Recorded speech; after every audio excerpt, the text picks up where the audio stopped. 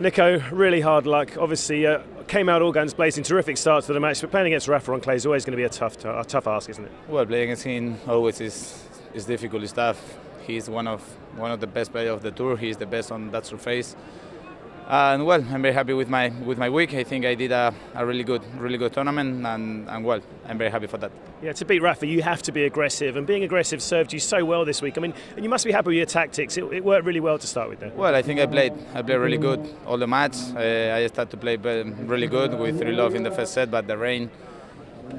Uh, started to start to rain, and, and the and the court was was to be really slow. The ball was was were, were heavy and, and well, and that's it. He started to play better and better, and he's he's the winner.